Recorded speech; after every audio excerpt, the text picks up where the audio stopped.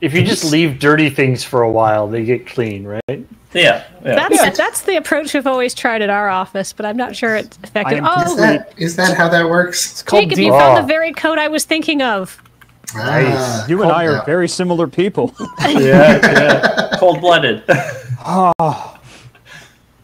Jacob, do you ever get that thing where like you get so cold that your hands start to go numb and like all the blood drains up? It's just like your body is like, I'm giving up on this digit. This one's the first one to go with frostbite. That's that's where it goes first, and I was because my mic is right here.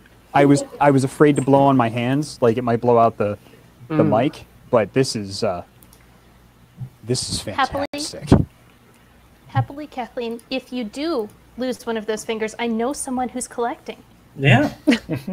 Next year we can have two buttons. Oh no! Look, the thumbs came in a pack of five. I have three extra if anyone wants one. Oh dear. Lose a finger, replace it with another with a with a second thumb. Hey, I just out, out of curiosity, if you, Who's if got mind, two thumbs and has an extra thumb? Oh no! Oh, that's amazing. hey, how? Uh, I'm just uh, at curious curiosity question. Um, just how uh, how strict is your inventory tracking? just just curiosity.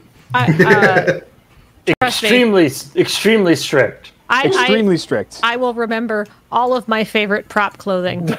Yeah. Kathleen will remember this. I'm gonna have to find one of your least favorite fur coats then. As as we all know, uh, uh, if you if you watch the uh, Askler segment um, from PAX, uh, all the equipment at the office is very tightly controlled, and it's not like everybody has been taking it home for their home streaming setups. I had so many tripods.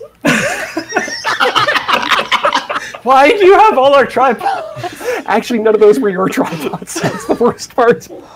There isn't even anything on most of them. It's just like a little forest of tripods around his desk. Yeah. Oh, this is legitimately amazing. I think that's like a real fur coat that we got um, from uh, Graham's grandparents when they like passed away or something. Cool. Somebody died in this coat. Great. No, not great, that. great, great. Thanks. They- Good. Added Good. value. They it was in their closet when they died. Probably. I'm gonna stop talking about this.